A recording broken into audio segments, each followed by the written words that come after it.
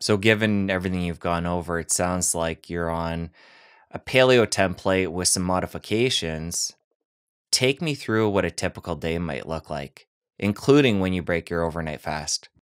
I usually have coffee and cream in the morning, um, typically decaf at this point, water, Swiss water decaf, because I'm pretty caffeine sensitive.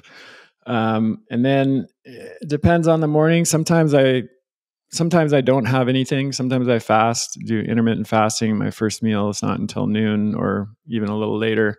Uh, in that case, I will tend to have black coffee with no cream or no coffee at all, just water.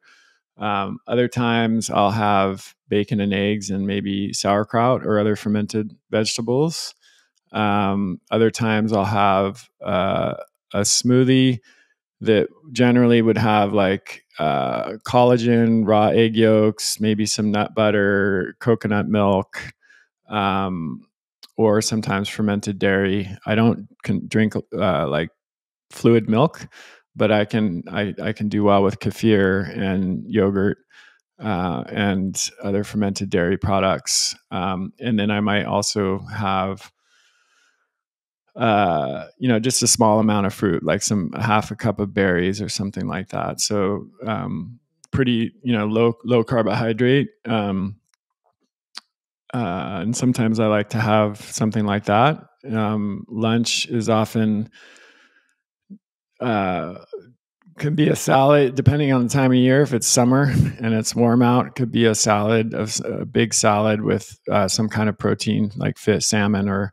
fish or meat that's left over from the night before, or I might have leftovers. You know, very often we'll have leftovers uh, from like we cook pretty much almost all of our meals, and so we'll often do you know big one pot meals in the instant pot or in a slow cooker.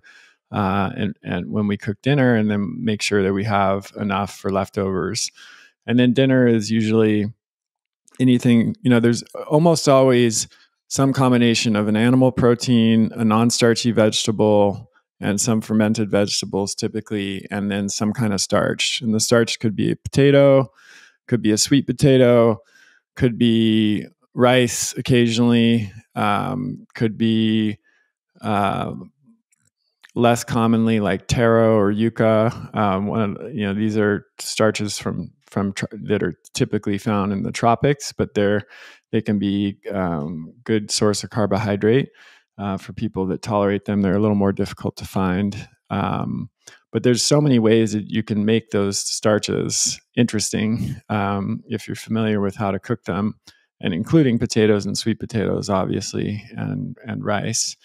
Um, so yeah, that's pretty much what the basic day looks like. I don't tend to snack very often. Um, it's pretty rare. Sometimes, if I do, it will typically be nuts or seeds or something like that. Um, cheese, I will have occasionally um, with the snack, maybe with the nuts and seeds. I do pretty well with most hard cheeses. Um, I'm, I'm, I would say mildly lactose intolerant. So, soft cheese, fluid milk, those sorts of things, I don't eat very much of. But hard cheese, fermented dairy, cream, butter, those are all very low in lactose. So I don't uh, have any problem with them. And I feel great when I consume them. And I think there's a lot of health benefits associated with them. If you enjoyed that clip, press here for the full episode. I'll see you over there.